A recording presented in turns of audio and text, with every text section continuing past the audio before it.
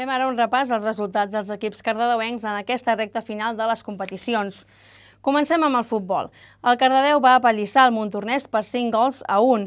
Aquesta nova victòria permet l'equip cardedeuenc mantenir-se en cinquè lloc amb 59 punts i acostar-se perillosament als seus rivals immediats, el Palau Tordera i la Llagosta. Aquest cap de setmana visiten el camp del Sant Celoni, el líder de la classificació amb 79 punts i campió del grup matemàticament.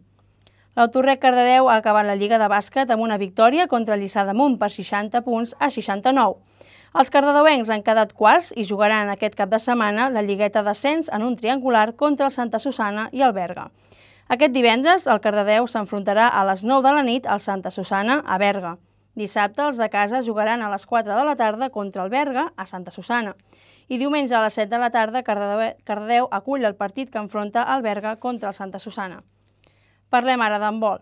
L'equip masculí d'handbol Cardedeu va guanyar per 28 a 25 en el partit que els va enfrontar al Cornellà.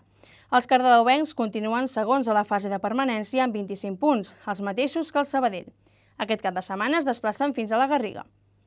Pel que fa a les noies d'handbol Cardedeu, també van aconseguir una victòria en el darrer partit contra el Banyoles per 18 a 20.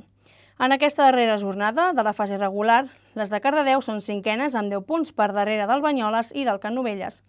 Les líders de la classificació són les noies del Vall d'Oreix, que acaben temporada amb 24 punts. Parlem ara del futbol sala.